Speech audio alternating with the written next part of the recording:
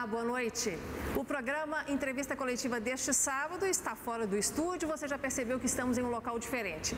Eu e o diretor de jornalismo da TV Band Minas, o Murilo Rocha, estamos na Prefeitura de Belo Horizonte, onde vamos conversar a partir de agora com o prefeito da capital, Alexandre Calil. Prefeito, seja muito bem-vindo ao nosso programa. Boa noite para o senhor. Boa noite, obrigado pelo convite. Murilo, estamos juntos então mais uma vez. Boa noite para você também. Boa noite, Nácia. Agradecer ao prefeito por aceitar participar dessa entrevista. Com certeza, é importante o senhor abrir esse tempo para a gente ouvir mais do senhor. E a minha primeira pergunta, prefeito, é a seguinte: hoje nós completamos neste sábado 114 dias que o senhor tomou aquela primeira decisão de fechamento das empresas não essenciais aqui na capital. O senhor, naquele momento, passado todo esse tempo, entende que foi a medida certa? Eu entendo que foi a medida certa, inclusive a anterior, né? De suspender as eletivas, de fazer com que os leitos desocupassem, porque nós estamos vendo aí que aumentamos em 400% o número de leitos, já vamos colocar mais 60 em operação e o número de, de ocupação não, não cai. Então houve um relaxamento de, de, do isolamento social. Então, se foi a melhor, eu não sei. É, foi a cópia do que o mundo todo fez e nós simplesmente copiamos o que a humanidade fez e pelo menos amenizou o problema que se torna cada dia mais grave no mundo. Prefeito, é, o senhor citou aí do número de leitos. Essa é uma das principais críticas que alguns representantes do comércio e também alguns adversários políticos e eleitorais do senhor têm feito, que o senhor não aproveitou esse tempo do isolamento social para aumentar, incrementar o número de leitos, equipes médicas, enfim. Então, eu queria saber do senhor, é, objetivamente, qual o número desses leitos, enquanto foi aumentado esse número de leitos em Belo Horizonte, como o senhor também está vendo essas críticas a essa questão dos leitos específicos? Olha, a crítica é o seguinte, é, além do vírus, nós temos os parasitas do vírus, né? Então nós temos que aproveitam, que querem aproveitar. Deixa eu explicar uma coisa para a população de Belo Horizonte. Respirador é uma máquina. Quem salva a gente é gente, é médico. Então esses achistas, astrólogos, ignorantes, eles não sabem que para você ter um curso de intubador, depois de formado, não é residente médico, formado, você precisa de dois anos de treinamento. Qual é a estratégia da prefeitura? Era ir abrindo gradativamente os leitos, porque é um leito completo. O que é um leito completo? É gente dentro do leito. É intubador, é fisioterapeuta, é médico, é enfermeira, auxiliar de enfermagem. Um leito de UTI demanda uma média de seis e meio pessoas por leito. Então vamos, vamos esclarecer para a população de Belo Horizonte que leito não, não é respirador. Leito é gente. Isso é igual ao hospital. Construir hospital é a coisa mais fácil do mundo. Só que o hospital custa, em média, 25 milhões por mês. Porque o que custa é o recheio do hospital, não é o equipamento. Entendeu? Então nós pulamos de 400% do início da pandemia até hoje de leitos e vamos aumentar mais o que for necessário, porque estamos suspendendo mais eletivos. Mas leitos com gente?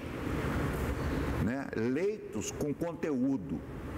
O leito ele não é feito do respirador, não. Então enganaram o povo de Belo Horizonte, o povo brasileiro, com o respirador. Ou seja, não basta o respirador, precisa de toda a equipe é de óbvio, apoio que é faz óbvio. o atendimento. E o que, qual que é o mais importante? que nós aumentamos os leitos e não caiu a taxa. Mas estamos com a pandemia sob controle. Isso quer dizer o seguinte: ninguém morreu afogado em Belo Horizonte ainda. Ninguém morreu por falta de leito. Exatamente. Então isso não é feito a galega, sem planejamento, como eles estão achando aí na rua, não.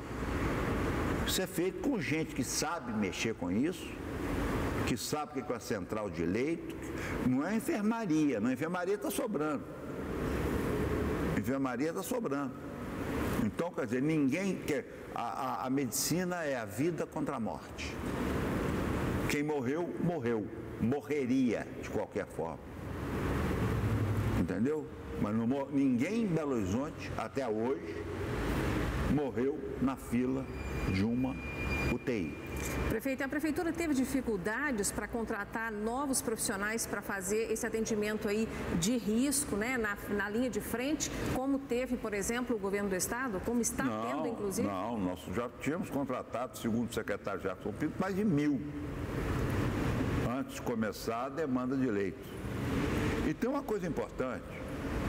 No meu mandato foram contratados 13.500 profissionais da saúde da ponta. Saiu na Folha de São Paulo de ontem ou anteontem que uma das razões do baixo índice, se a gente pode chamar de baixo, né, 200 mortes, 190 mortes, que não é baixo, é altíssimo, é o que foi feito nos quatro anos de governo. O tratamento. O orçamento de Belo Horizonte era de 15%. Foi gasto na saúde de Belo Horizonte 27,5% nesses quatro anos. Então, o, o, esse aproveitamento político vem da ignorância, que é natural, é período eleitoral, isso aí não, não me incomoda, né? Isso aí não, não me incomoda. Agora, o que a população tem que saber é que máquina tem uma propaganda do Médico Sem Fronteiras que o homem é o pior ser do mundo. Quem salva um homem é só outro homem. Então, é, é, a única parte que não me incomoda é dos parasitas do vírus. Me incomoda o comércio estar tá fechado, me incomoda o bar estar tá fechado, me incomoda o, o, o, o restaurante estar tá fechado, a economia está parada, isso tudo me incomoda. Agora, parasita, demagogo, que quer subir em caixão, não me incomoda. Agora, prefeito, o transporte público de Belo Horizonte sempre foi um problema sensível mesmo antes da pandemia. E de outras administrações é sempre um problema, questão de horários, demora, ônibus lotados. Veio a pandemia com orientação de isolamento social, de distanciamento social, e não se conseguiu resolver esse problema em algumas linhas específicas e nos horários de pico, principalmente. Todo dia a gente recebe reclamações, faz imagens de pessoas em pé se aglomerando nos ônibus. Por que não se conseguiu chegar numa equação? E por outro lado, as empresas de ônibus estão falando que estão quebrando, estão fazendo anúncio no jornal anunciando que estão quebrando. Como resolver esse problema e evitar que o ônibus seja uma caixa de transmissão nesse momento? O transporte público tem sido uma pergunta muito confortável para mim. Porque aqui ninguém tem a solução. Nem você e nem você. Aumentar o número de veículos nos horários de pico? E como é que faz? Você subsidia? Porque não há subsídio no ônibus de Belo Horizonte. Você obriga o cara a colocar um veículo de 400 mil reais, vazio, rodando em Belo Horizonte? Você tem jeito de obrigar? Onde, num domingo, a BH Trans anotou à noite 12 passageiros no sistema de transporte público de Belo Horizonte. 12. Então é uma pergunta muito confortável. Sabe por quê? Porque nós estamos sentados agora com o Ministério Público tentando dar uma solução. Porque ninguém tem solução, a não ser subsidiar, dar dinheiro para eles. Isso eu não quero. O que, que eu fiz? Eu adiantei um dinheiro que eu, que eu teria que pagá-los para que eles sobrevivessem nessa pandemia. E estou fazendo um aditivo. Agora, ideia para ônibus, eu recebo todas. Só me dar uma. Só que eu não recebi nenhuma.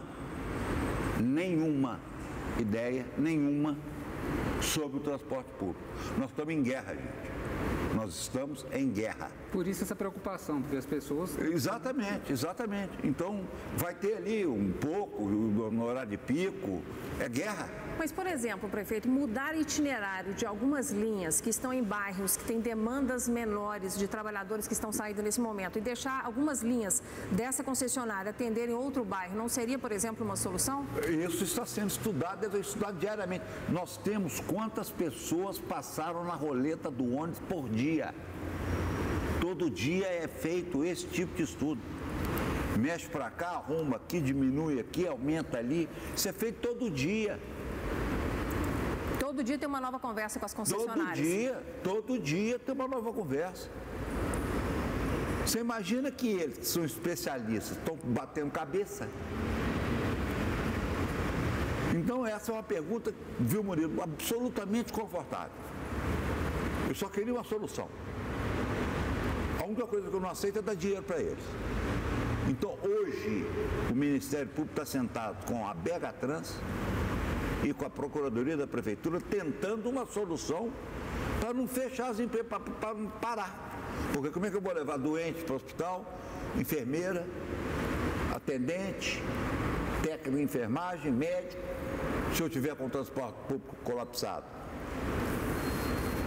Então, o que nós estamos tentando um, um aditamento nesse vale transporte, mesmo que seja a longo prazo, para que eu não dei de, o dinheiro para subsidiar ônibus. Olha, aconteceu na Bahia, o cara pegou a chave dos ônibus entregou para o prefeito, falou, então resolve aí. Então resolve.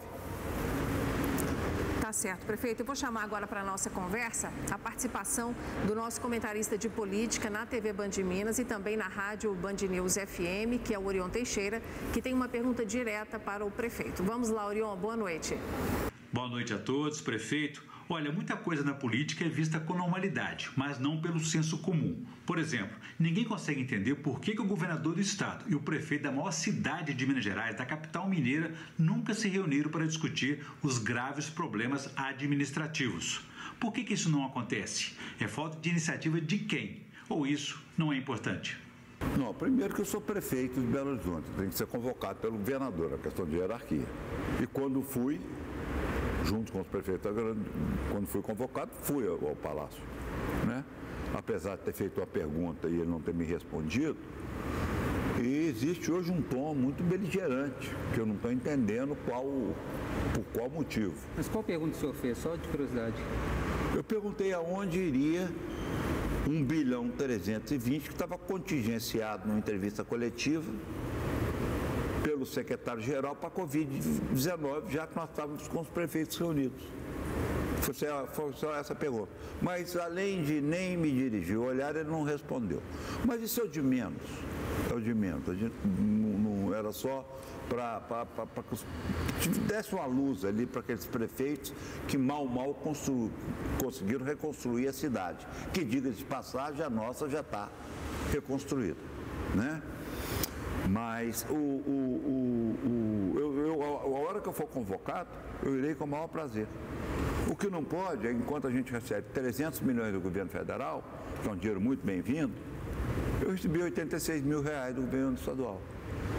Então tudo está sendo feito aqui. Eu não sou o Estado, gente, eu sou a Prefeitura de Belo Horizonte. Eu não sou o Estado. Agora nós vamos reunir com bancos privados para tentar ajudar o crédito dos pequenos comerciantes dos médios comerciantes em Belo Horizonte. Eu não tenho um banco, eu não tenho BDMG. Quer dizer, eu vou ter que resolver problemas. Estou tentando resolver que não são da função da prefeitura. Então a população tem que entender que nós somos a prefeitura de Belo Horizonte. Tá certo, é a nave mãe, é tudo, mas é a prefeitura. Se nós fizemos uma gestão eficiente nesses quatro anos, se sobrou dinheiro, se nós reconstruímos a cidade, se nós estamos dando conta da pandemia, numa ajuda social nunca vista nessa cidade, é a chuva nunca vista, é a pandemia nunca vista e uma ajuda social nunca vista na história dessa cidade. Com distribuição de milhões de refeições, de cestas básicas para todos os alunos, para, as vilas, favelas, com, com, com ocupações, com, com kit de saúde. A gente está fazendo o que pode. Agora, eu, se chamado, irei no maior, com o maior prazer.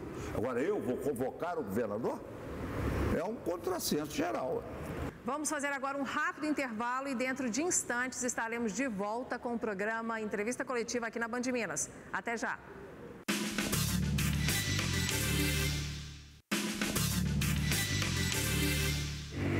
Estamos de volta com o programa Entrevista Coletiva deste sábado, que excepcionalmente está sendo realizado fora do estúdio da TV Band Minas. Eu e jornalista Murilo Rocha estamos na sede da Prefeitura da capital, aqui no centro de Belo Horizonte, entrevistando o prefeito Alexandre Calil. Prefeito, vamos retomar então nesse último bloco e eu gostaria de saber do senhor das creches. A economia for autorizada a voltar, não apenas as empresas essenciais trabalhando, o suporte das creches é absolutamente fundamental para que pais e mães possam ir trabalhar com tranquilidade. Nesse momento, elas estão dando conta de pagar as contas e de manter as equipes para, na hora que se autorizar o funcionamento, todas reabrem imediatamente? Não há nenhuma suspensão de pagamento da prefeitura e todos os alunos do, do, da escola fundamental da escola infantil estão recebendo uma cesta básica. Então, esse não é o problema da prefeitura, graças a Deus. E o senhor falou também da ajuda social que nunca antes foi vista aqui, feita pela prefeitura. Ela vai continuar mesmo depois da reabertura, porque a gente sabe que vão ter famílias com dificuldade de se manter. Nós vamos estudar isso de acordo com o caixa da prefeitura, que hoje é um caixa saudável, mas nós não podemos prometer o que nós não sabemos se vamos poder cumprir. Prefeito, a gente já tem aí mais de 100 dias de pandemia no Brasil, temos um quadro aí de quase 70 mil mortes em todos os estados e mesmo assim algumas figuras importantes no país, partindo do presidente da República, que minimizam ainda os números, minimizam a própria doença. E parte da população, logicamente, que se espelha no presidente, insiste em não usar máscara e também minimizar, querer reabrir comércio e tudo. Como o senhor analisa essa postura de negar a doença ou minimizá-la após todo esse estrago já ter ocorrido no Brasil, segundo país com maior número de mortes? Olha, nós temos que ter empatia. Eu acho que até o próprio presidente que pegou a doença, a gente, claro, quer que ele se restabeleça como todo ser humano, mas é muito importante que é, é, nos ajude. Ninguém quer abrir essa cidade mais do que o prefeito. Ninguém sabe o sofrimento desse comércio mais do que o prefeito. Ninguém está mais ansioso do que, do que isso. E o negativismo não vai ajudar nisso. O negativismo vai atrasar isso tudo.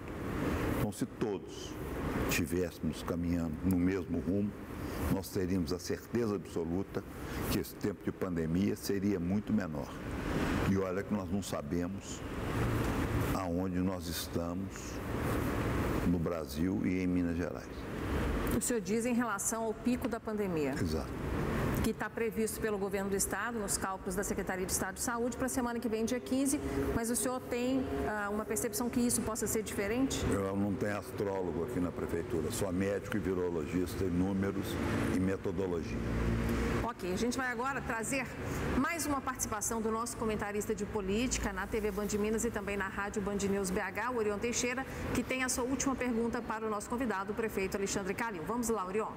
Prefeito, o quadro eleitoral deste ano em Belo Horizonte deverá ter mais de uma dezena de candidaturas a prefeito, o que poderá provocar um segundo turno. E há também um segmento, o empresariado, que não gostaria de ver o senhor reeleito. Isso tudo o preocupa? Não. A eleição é um ato democrático livre. Eu não fui eleito para ser Miss Simpatia, nem de empresário, nem de comerciante. É, tenho o maior respeito por eles, recebo todos que marcam hora aqui comigo. E acho que é uma campanha é, desnecessária, porque nunca desrespeitei, sempre tentei ajudar, desde tirar os camelôs da rua até, até abrir né, autorizar música em bares, fui eu que fiz isso tudo para os bares e restaurantes. Então, é, eleição é eleição, segundo turno, segundo turno, vamos discutir, vamos debater, vamos o que foi feito, mostrar o que foi feito quatro anos nessa prefeitura. E é o bem-estar que importa. Isso quer dizer o seguinte, o bem-estar do povo é que importa. Ah, tá bom? Não, mas melhorou? Melhorou. Ah, então pode melhorar mais. Pode melhorar mais.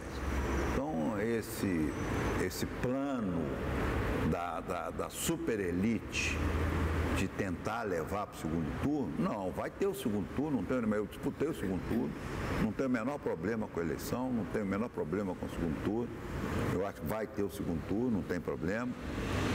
entendeu? E eu não, eu não entreguei a prefeitura para o empresariado.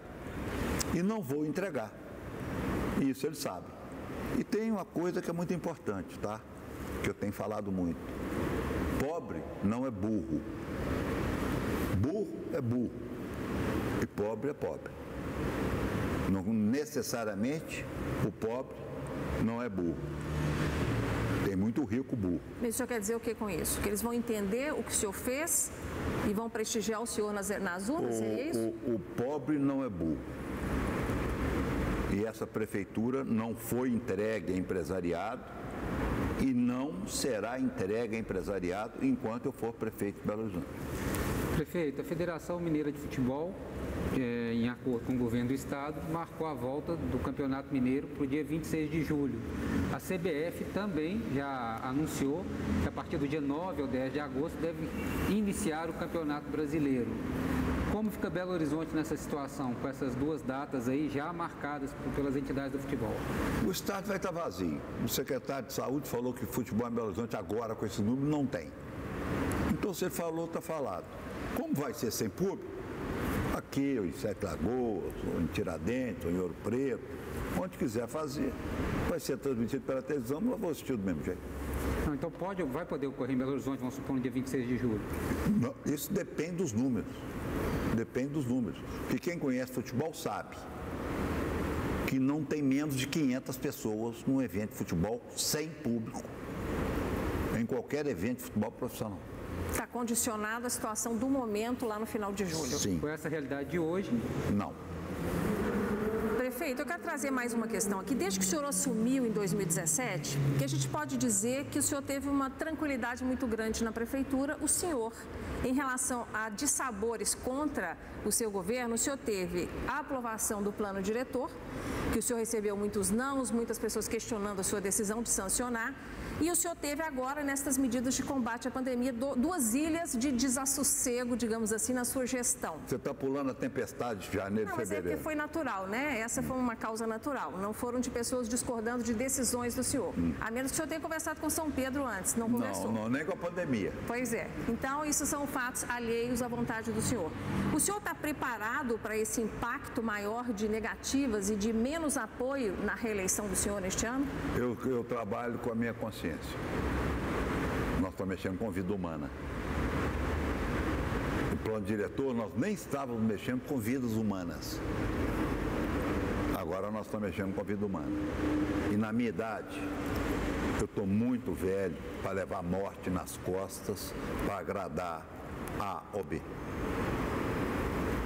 Tá certo. Deixa eu trazer mais um assunto das Prefeito, eleições não, aqui. Eu só queria só, Tá. o senhor está falando, o senhor falou que está velho, e tal, mas o senhor está visivelmente abatido. O senhor está na cara, o senhor está com uma expressão cansada, está visivelmente abatido. Qual que é o momento mais difícil dessa pandemia né, ao longo desses quase 120 dias? Qual foi o momento mais crítico da gestão do senhor ao longo desses 120 dias? Fechar a cidade. O primeiro fechamento? É, o primeiro fechamento foi muito duro, o segundo também. E- e- e eu tenho como, como né, eu sou um homem que acredita em Deus. Acho que se Deus mandou para mim tanto problema, ele é porque ele me escolheu. Então eu tenho a tranquilidade de fazer o que a minha consciência mandou. Eu fiz o que minha consciência mandou. Eu sei o que é enterrar um pai, eu sei o que é enterrar um- uma mãe e eu não vou ser responsável por essa tragédia que é a morte humana, por, por uma pandemia que nós vamos ajudar o comércio, nós sabemos, pedimos desculpa a todos eles, a todos eles, mas realmente é, eu não quero levar isso para a minha vida. Essa pandemia eu não quero levar a culpa de milhares de mortes nas minhas costas. Elas podem até acontecer, mas eu lutei desesperadamente para que isso não acontecesse. Pelos acompanhamentos que a equipe de sanitária, a equipe de saúde da Secretaria Municipal tem feito, o senhor acredita que já vai dar para visualizar, a partir da semana que vem, uma data de reabertura do comércio? Acredito que sim, acredito que sim. Quando que o senhor pretende anunciar? Não sei, não sei. Não tá depende definido. do- Nós vamos abrir mais leitos de UTI Vamos esperar o resultado, porque na verdade agora que está chegando os 15 dias do segundo fechamento, e nós vamos tentar reabrir o mais rápido possível a cidade com responsabilidade.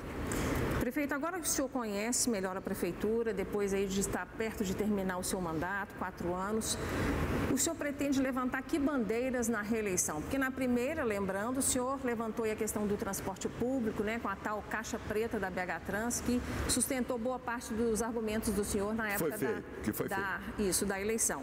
E agora que o senhor conhece melhor a máquina, não apenas como um cidadão, como um líder empresarial que o senhor sempre foi, líder também no futebol, Agora que o senhor conhece por dentro, o que, que o senhor pretende levar para a população como esse novo chamamento para a sua reeleição?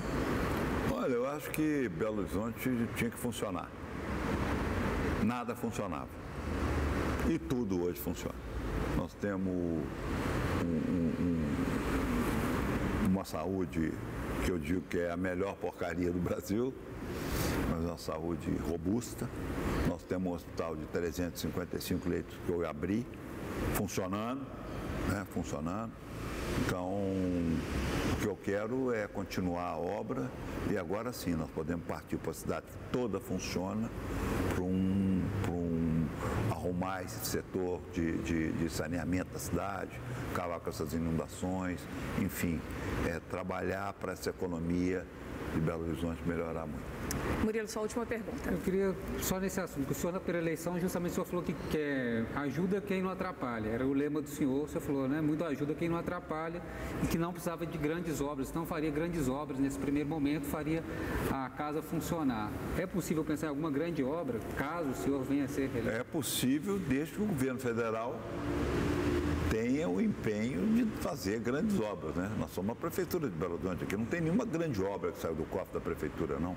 Nós fizemos aqui quase 2 bilhões de obras que não foram prometidas.